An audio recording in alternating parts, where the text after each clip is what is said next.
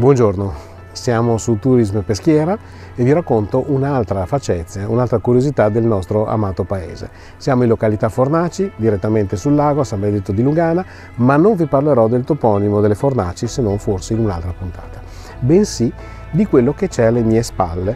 Come potete vedere, un bar che si chiama La Racchetta. Come mai e da dove arriva questo nome? Pensate che non c'entra nulla con lo sport né del tennis nemmeno del ping pong, ma ci arriva direttamente dal nostro risorgimento. Andiamo con calma. Durante il periodo napoleonico, le truppe inglesi introducono in Europa un'arma incredibile, che sono i razzi che loro stessi avevano imparato ad usare combattendo in India. L'altro esercito che sceglie quest'arma è l'esercito austriaco austriaco che lo utilizzerà copiosamente, soprattutto nel periodo del nostro risorgimento. Che cos'erano questi razzi? Erano dei cilindri metallici con una palla di piombo, di ferro sulla punta, che venivano lanciati verso il nemico. Non avevano un grande impatto bellico, bensì facevano una gran confusione e spaventavano i cavalli, specie della, della cavalleria.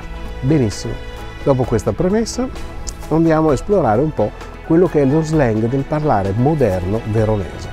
Quando si gioca a carte all'osteria, capita che qualcuno sbagli un punto. Normalmente partono sequele di improperi e parolacce. In veronese le racchette.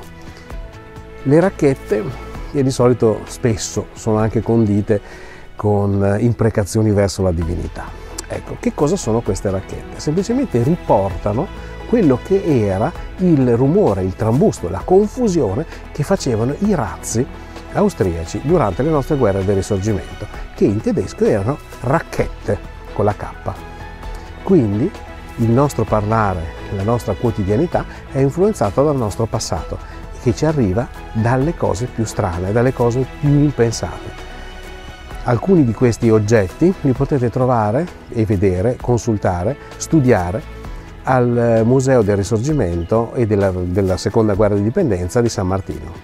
Ciao a tutti, buon divertimento.